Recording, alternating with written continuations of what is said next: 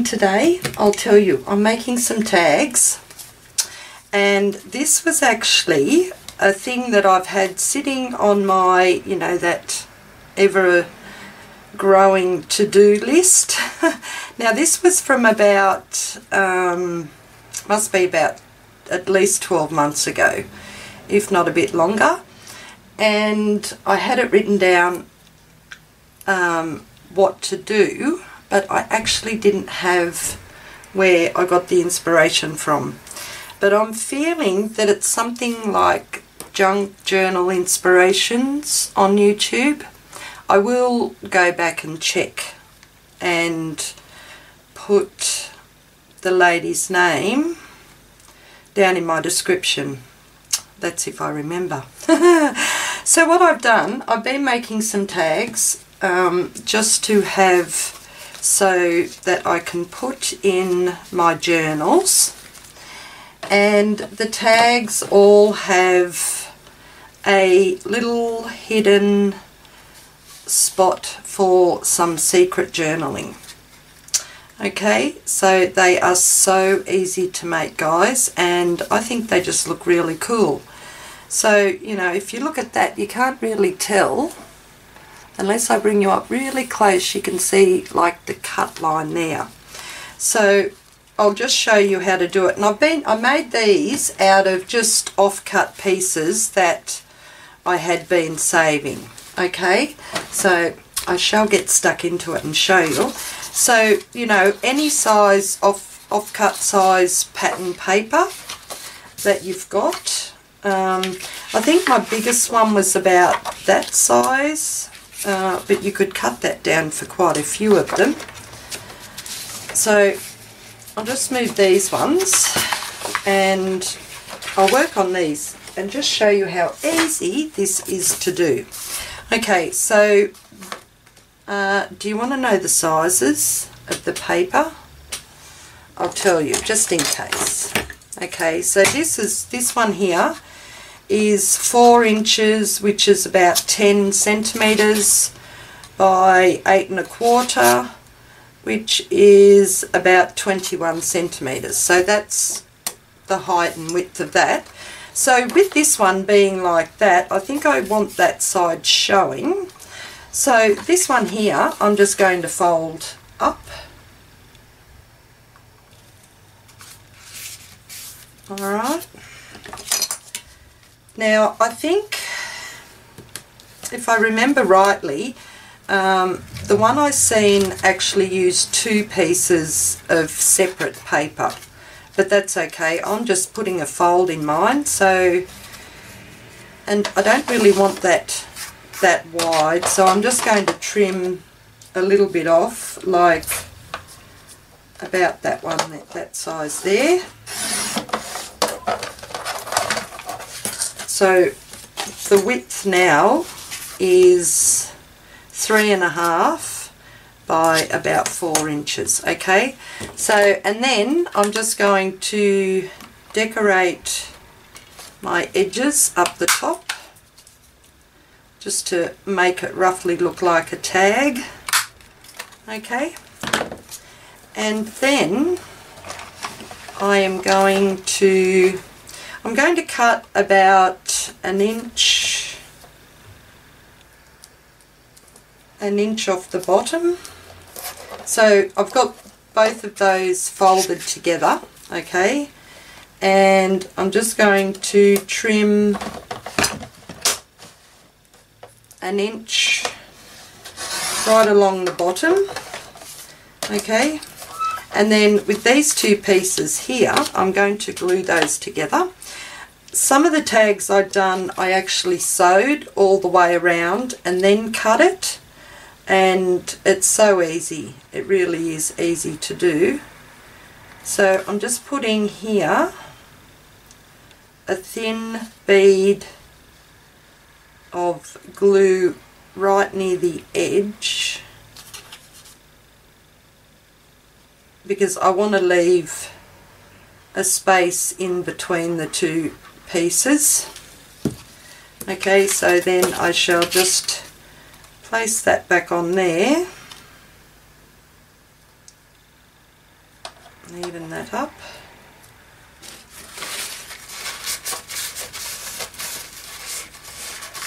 Just give that a press down. Okay, so that's the top part. I don't know why I've got that there. Okay, that's the top and that's the bottom there. Now, I've just been using a 220 GSM, it's like a thin weight cardboard. So what I want to do, I want a piece of cardboard that fits in to my bottom part here, into um, the bottom part of my tag. I'll just get a pencil. But when before you cut it, you just want to make sure that you've left enough room either side um, to glue that. Okay, so I'm going to cut that at about two. Can't see where I've put that mark now. There.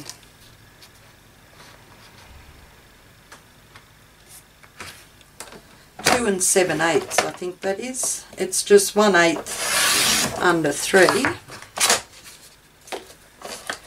And to get the height, I've just been putting that in there and just marking that there. So I can just do that.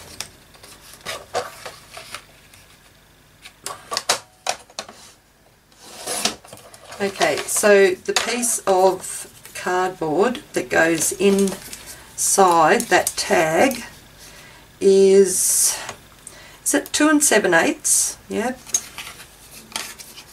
By three and a half which is nine centimeters by 7.5 centimeters okay? So then all you have to do is glue that in.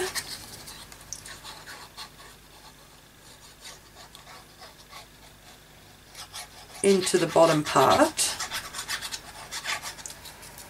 And I'll do that and then just line that up so that it looks even an even space either side and then we'll put some glue on this side here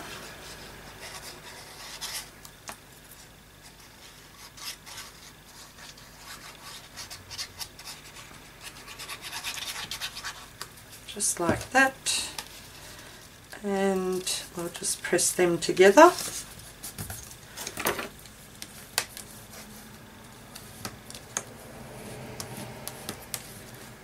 Okay. And then I just I like to open up these and these two pieces here. And I just get my ruler and just go give it a bit of a, a hit to make sure that the glue hasn't spread anywhere on the inside. And then all you have to do is just push that up there like that and you've got a little secret compartment. Now I don't know if I've got that on the right side or not because that paper's pretty similar. That's better. Okay, and that's it guys, more or less. And I have been um, putting a an eyelet in the top of mine and decorating it up really is just however you choose to decorate it. So put an eyelet in there Okay.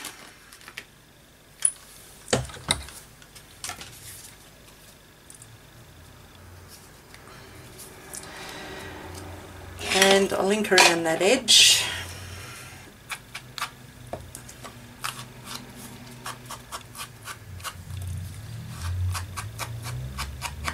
I don't ink the cuts um, across there.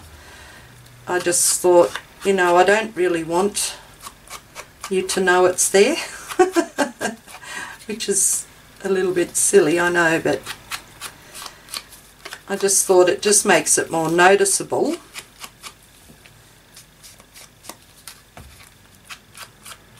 Okay.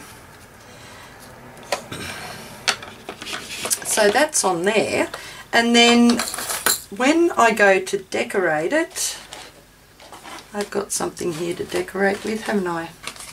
Let me have a look. I've just been using just things that I'd left on my um, left on my table. So to decorate this,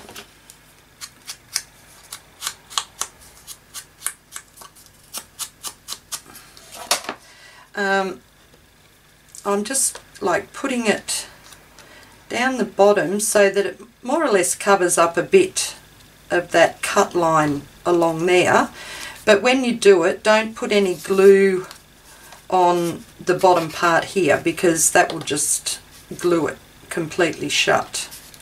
Okay, so you know you can put something like that on there. I don't really have very many things on here at the moment. Let's cut a piece of this.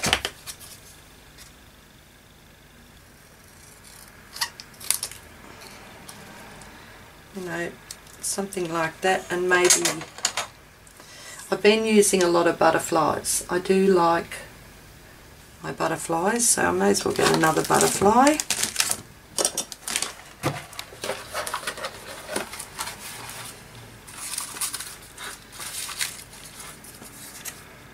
No, too. Yeah, that's got a bit of the same colour on it. Okay, and that there and occasionally a little bit of cheesecloth under that. But these are so easy to make and I think they're going to look pretty cool in in my junk journals or lapbooks. Okay, so let's just decorate this one up a bit. Didn't I put that needle in there? Oh no, I just used it, didn't I?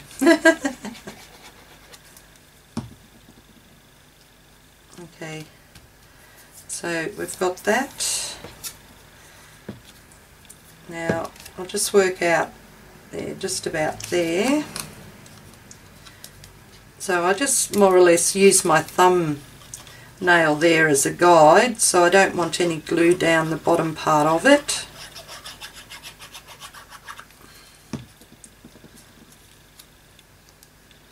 And just put that there.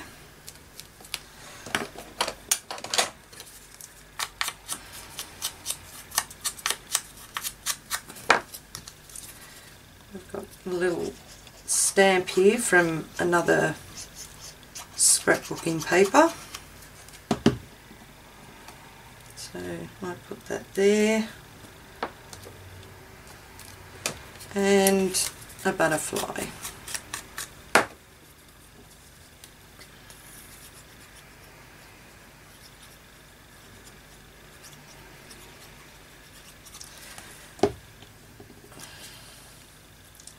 okay and that's it and then maybe a bit um, this one here's got a, a bit of a plain background.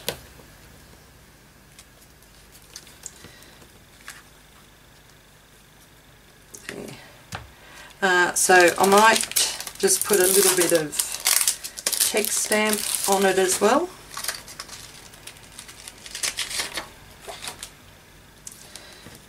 So I can pull that out there.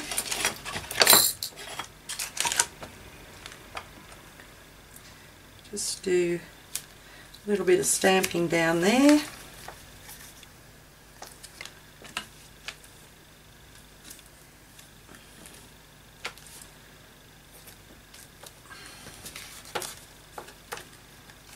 Then over the back.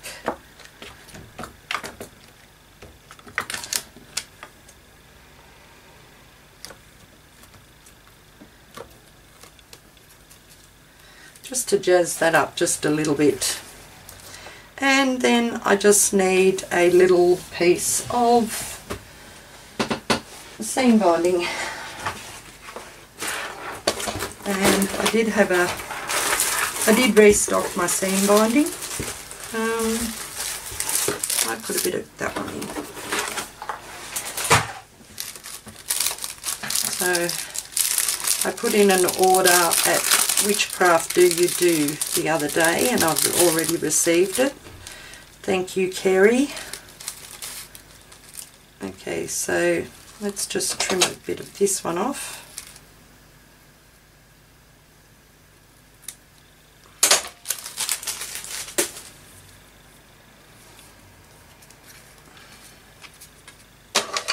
Push that through there.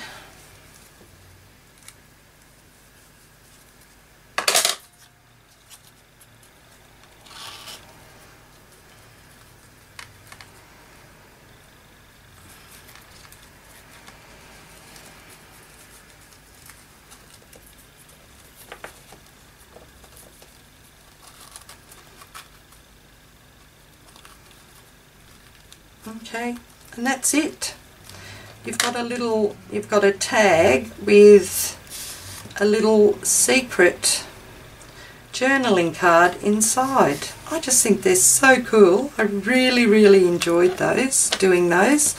And I made them just from um, leftover pieces of, you know, scrapbooking paper from when I've made my journals. Because I do keep a lot of that. So I'll just tidy this up here.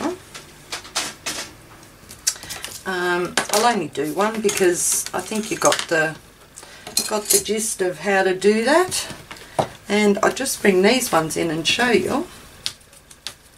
They are so cool. So there's this one here. That there. Show you the back and then that just slips in there. And this one.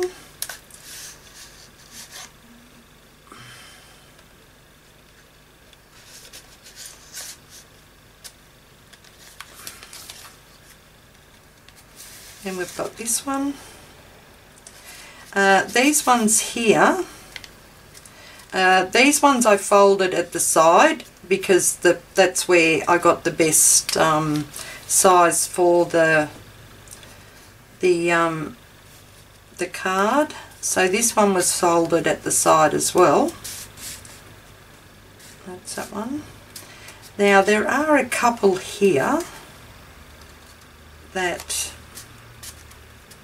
um, I have done but I haven't attached the writing part to the bottom part. I think it was in the sewing ones. Is that one?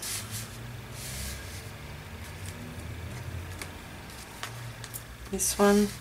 Uh, this one here was a scrap piece of cardboard and you can notice that it does, like there is a little bit of, um, what's the word, movement there, but that's okay. Like you could um, just attach these to your page with a paper clip or you could put it so in a pocket. these ones here um, I have sewn with my machine I folded it over or folded, yeah, folded this one over and I've stitched all the way around the edge and then I have gone and cut my little slip for the bottom part of that and this one here I've put glue on both sides of the bottom part and slipped my cardboard in a little bit of lace under there. But there are a couple that I haven't, that one there is glued in as well, that I haven't actually um, glued the bottom in. Because I thought, oh, you could just pull that apart and have it separate. I really love this one because I love that paper at the back. Um, Little Women, is it? Oh, here it is see I've left that separate and that the card just slips in under there so that's just another another idea of um, of what you can do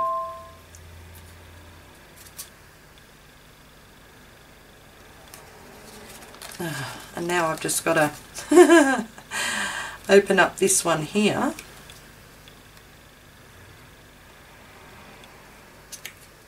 Okay. And then you can just slip that one on there. I've got a feeling I will end up gluing that one in because it's just um, it gets a little bit fiddly for my shaky hand. Um, this one here that's a nice long journaling card there in the tag.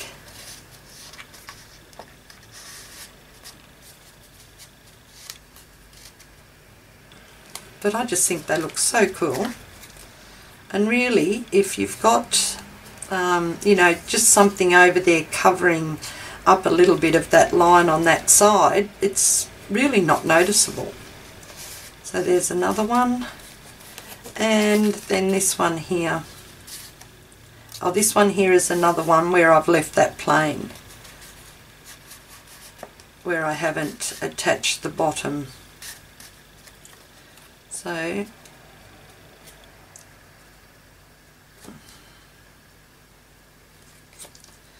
you just have to open that up again at the bottom and slip that in. Okay, so that's them guys. Oh, I just love them. They are so cool. So I done one, two, three, four, five, six. I done seven where I stitched with my machine around the outside and then I've done another lot here that um, that I hadn't. So that's it. I hope you enjoyed. So go and make some for yourself and you've got that little secret journaling spot inside your tag. So cool. And that's another thing that I can now tick off my to-do list. okay, thanks everyone. I hope you enjoyed that. I did. That was pretty cool. You all have a great day and I will catch you later. Bye-bye.